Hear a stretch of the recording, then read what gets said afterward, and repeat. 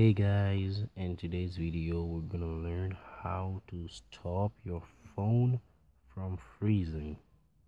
So you used to do some works on your phone and your phone starts freezing. So we're gonna learn how to stop that.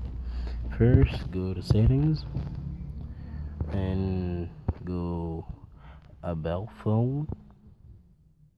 And then then go search for your build number again and then tap it like seven or nine times. And then you'll get the developer option.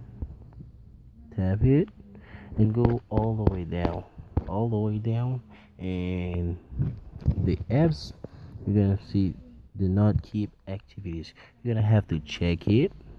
And what it does like as soon as you're not doing an activity it's gonna automatically close the application. So it's gonna stop your phone from freezing because your cpu would be like a little bit too slow.